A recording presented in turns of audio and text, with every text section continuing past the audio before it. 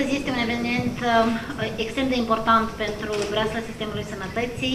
Ne întâlnim pentru a face totalurile suportului pe care l-a primit Guvernul Republicii Moldova din partea Agenției Japoneze pentru Cooperare Internațională. Vorbim despre acel um, proiect JICA, despre care um, responsabilii din sistemul de sănătate cunosc uh, foarte multe lucruri.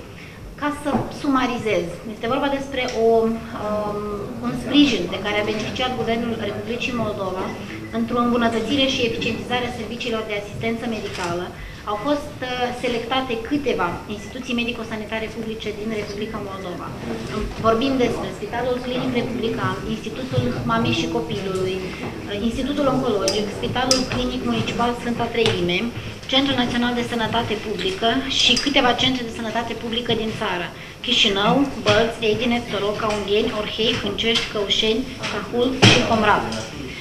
Finanțarea proiectului îmbunătățirea serviciilor medicale a avut loc în baza acordului de împrumut între Republica Moldova, Guvernul Republicii Moldova și Guvernul Japoniei, care a fost semnat în iunie 2013. Uh, în um, octombrie, în noiembrie 2014, marea majoritate a utilajelor erau deja livrate și astăzi, în septembrie 2016, facem totalurile implementării acestui acord, uh, facem um, bilanțul funcționalității și implementării noilor tehnologii în aceste uh, instituții, ne asumăm responsabilitatea pentru cele utilaje care încă nu sunt puse în funcționare, dar uh, urmează câteva proceduri tehnice și urmează să fie uh, demarate și acolo um, uh, serviciile și ne pregătim pentru etapa a doua de implementare sau uh, al doilea pas de implementare al acestui acord, care înseamnă Um, procurarea de consumabile pentru o perioadă determinată pentru a asigura funcționalitatea acestor uh, utilaje.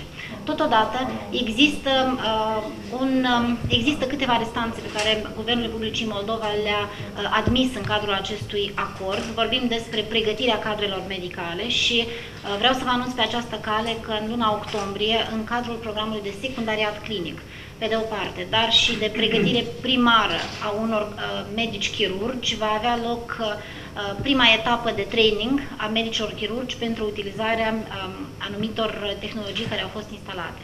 Guvernul Japoniei crede că stabilitatea în Europa de Est este extrem de importantă pentru întreaga Europa.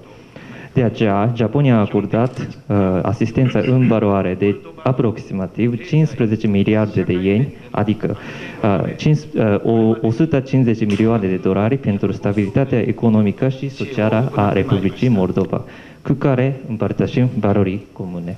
Proiectul pentru îmbunătățirea serviciilor de asistență medicală, prin care au fost instalate echipamente medicale japoneze aici la Institutul de Medicină Urgentă, a fost primul proiect de împrumut de tip Yen Loan pentru Republica Moldova, în valoare, apro în valoare de aproximativ 6 miliarde de ieni, adică 60 milioane de dolari americani.